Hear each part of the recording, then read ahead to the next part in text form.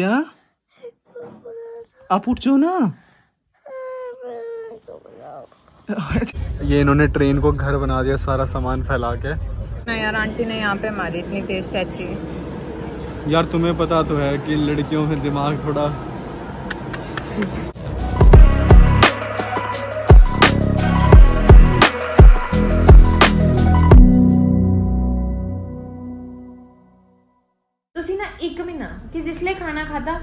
ਠੀਕ ਹੈ ਚਾਹੇ ਸਵੇਰੇ ਹੈ ਚਾਹੇ ਦੁਪਹਿਰੇ ਹੈ ਚਾਹੇ ਰਾਤੀ ਹੈ ਉਸ ਤੋਂ ਬਾਅਦ ਤੁਰੰਤ ਇੱਕ ਕੱਪ ਗਰਮ ਪਾਣੀ पता है ये पहली ऐसी लड़की है जिसके मायके वाले नहीं चाहते कि ये बार बार आए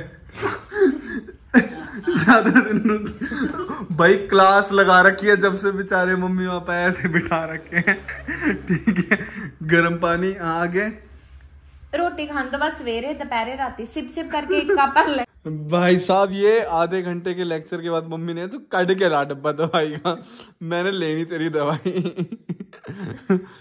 ਪਤਾ ਕਿਆ ਮਤਲਬ ਸੱਚੀ ਗੱਲ ਹੈ ਜਿੱਥੇ ਘਰ 'ਚ ਡਾਕਟਰ ਹੁੰਦਾ ਨਾ ਕੋਈ ਕਿਸੇ ਦੀ ਗੱਲ ਨਹੀਂ ਸੁਣਦਾ इज्जत नहीं होती ये बोलो ना मतलब ਹਾਂ एग्जैक्ट ਮਤਲਬ ਘਰ ਦੀ ਮੁਰਗੀ ਦਾਲ ਬਰਾਬਰ ਵਾਲਾ इज्जत नहीं होती ये बोलो ना ਇੱਜ਼ਤ ਨਹੀਂ ਹੁੰਦੀ ਸੱਚੀ ਗੱਲ ਹੈ अब मम्मी ਮੇਰੀ आम- ਮਾਂ ਨਾ ਮੇਰੀ ਗੱਲ ਜਰਾ ਨਹੀਂ ਸੁਣਦੀ ਜਰਾ ਨਹੀਂ ਆਹੋ ਸੁਣਦੀ ਨਹੀਂ ਕੱਢ ਕੇ ਲਿਆਣਾ ਹੁਣ ਡੱਬਾ ਜਾ ਉੱਪਰ ਜਾ ਮੈਂ ਲਿਆ ਦੇਣਾ ਹੁਣੀ ਜਾ ਲੈ ਕੇ ਆ एक्चुअली दवाई ਤੁਸੀਂ ऊपर ਵੀ ਫਿਰ ਹੁਣੀ ਖਾ ਕੇ ਸੌਂਗੇ ਖਾ ਕੇ ਸੌਂਗੀ ਜਾ ਲੈ ਕੇ ਆ ਮੈਂ ਲਿਆ ਦੇਣਾ ਹੁਣੀ ਚਲੋ ਪਈ ਚਾਬੀ ਚੱਲ ਮੈਂ ਲਿਆ जानिए क्या लिया तो इतने उसके बाद मम्मी ने पूरे जोश में कहा कि अब से वो दवाई लेंगी ठीक है जो भी वेट वेट लूज पाप करेगा लेके आ तो आंखें नहीं खुल रही यार धूप बहुत ज्यादा हो रखी है hello everyone welcome to Arninder seven vlogs and आज है मंडे 21 नवंबर एंड अभी हमारी दोपहर की डेढ़ बजे की ट्रेन है वंदे भारत वाली कि मुझे घर रुकना था बट मम्मी का बिल्कुल भी घर मन नहीं लग रहा है। मतलब उनको इतनी बेचैनी हुई पड़ी है वो सो ही नहीं पा रहे हैं। कल भी तो अब क्या है कि आज जैसे मम्मी को अभी क्यों नहाने में भी दिक्कत हो रही है तो थोड़ा मैं हेल्प करके उनकी आज हम लोग दिल्ली निकल जाएँगे। उन्होंने मुझे मना कर दिया रुकने को क्योंकि उनका मन नहीं लग रहा तो वो कल होशियारपुर जा रहे हैं। अब उनको शैंकी छोड़ाएगा तो वो किरिया तक जैसे वहाँ रहेंगे। तो फिर इसलिए मम्मी कह रही कि अभी मत रुक तो उसके बाद रुक। फिर किरिया पे जब मैं आऊँगी फिर मैं घर रुक के जाऊँगी और फिर चार पाँच दिन जब तक मम्मी का प्लास्टर नहीं खुलेगा।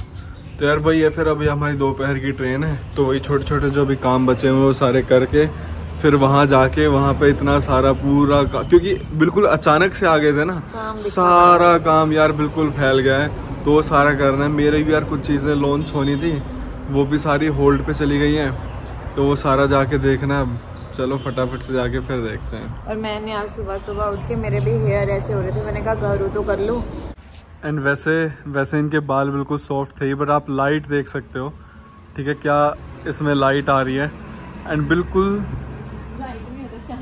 सॉरी शाइन और बिल्कुल स्मूथ बाय चल रहे बस एक वीक के लिए जा रही हूँ फिर से वापस जाऊँगी पाँच दिन बाद ना।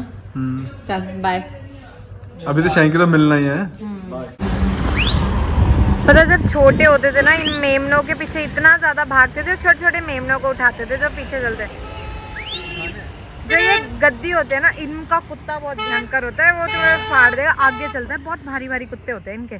जो ये गद्दी होते हैं ना इनका गद्दी कुत्ता साथ में चलता है वो इतना बड़ा होता है इतने बड़े बड़े बाल जैसे इतनी सी आँखें उसकी दिखती है और वो इतना भयंकर होता है ना वो इनकी रखवाली करता चलता है। अच्छा तो मतलब कोई इनको उठाना हाँ। पूरा। ये सलाह देते हुए मम्मी ध्यान रखना। एक बार दोबारा। मम्मी नहीं मैं सलाह दे रहा हूँ। और ये देखो मम्मी का मैं दिखाती हूँ। ये। थोड़ा सा ना। ये। और ये मम्मी कल एक्चुअली होशियारपुर चले जाएँगे। अदरवाइज़ हम रुकते इसलिए हम अब जा रहे हैं।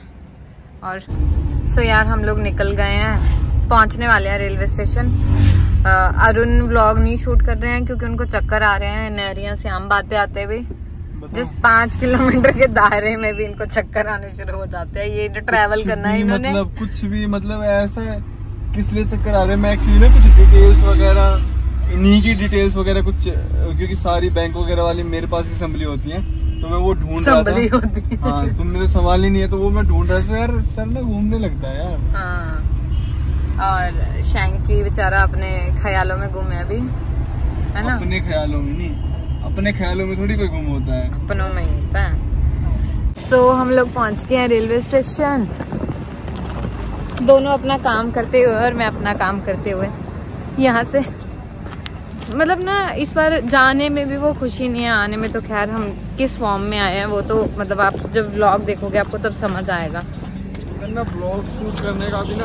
बिल्कुल मन नहीं मतलब ये भी बोल बोल के हम शूट कर रहे हैं कि अच्छा कर लो इतना सा कर लो कर लो। अदरवाइज़ कोई वो नहीं और ये है हमारी वंदे भारत ट्रेन खड़ी है। बेचारे अपना अपना काम करते हुए। ना आप भी तो अपना काम नहीं कर रहे हो मैं कर रही हूँ ना। चलो जाओ। ना। तो ये सी थ्री हमारा डिब्बा। यार जिस भी दिन उपासना अपना बहुत ज़्यादा दिमाग लगा लेती ना मतलब कोई ऐसा काम करते है जिसमें बहुत ज़्यादा दिमाग लगता है। तो यार घर आके कहते हैं कि उनके ना घुटनों में दर्द होने लगता है। आप लोग बता सकते हैं ऐसा क्यों होता है कि इनके घुटनों में क्यों दर्द होता है? जिस दिन ये बहुत ज़्यादा दिमाग लगाती है। कोई बहुत ज़्यादा ऐसा काम करती है जिसमें बहुत ज़्यादा दिमाग लगता हो। सो ये आ चुका है हमारा खाना। सो ये बढ़िया से दाल, पनीर, चावल। चावल नहीं पुलाव है ना? हाँ मतलब चावल नहीं है, पुलाव। मिक्स वेज रोटी, अचार, और वो दिमाग की करने वाली दही। एक होती है हद। एक होती है बेशर्मी की हद। एक होती है बेशर्मी की सारी हदें पार कर देना। मैं मैगी के नाम से बदनाम था ना? मैं बदनाम था ना मैगी के नाम से, इधर देख। इतनी सारी चीज़ें सामने पड़ी हैं। ये समोसे अभी ये चोको पाई चाय जूस एंड शी प्रेफर्ड अपना कंफर्ट एंड ये ना अपनी एक कप्पा मेनिया वाली मैगी लाई है। इधर देखना कितनी शर्म आई है। बिल्कुल भी नहीं।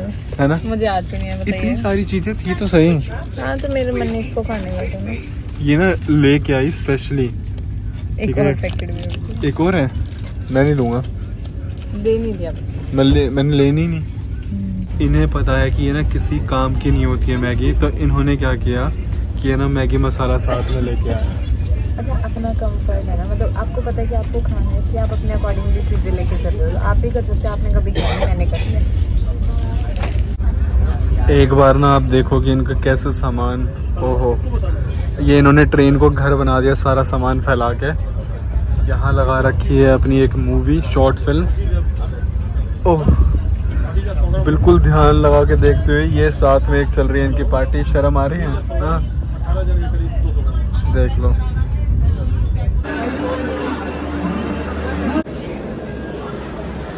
अरुण देखना यार आंटी ने यहाँ पे मारी इतनी तेज टैची यार तुम्हें पता तो है कि लड़कियों में दिमाग थोड़ा कम होता है।